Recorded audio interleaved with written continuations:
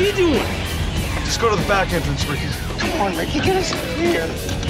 Ready for a little game of shit chicken squiddle bandy? Ricky, the cops are behind us. What are we gonna do? Just give me a second to think about this.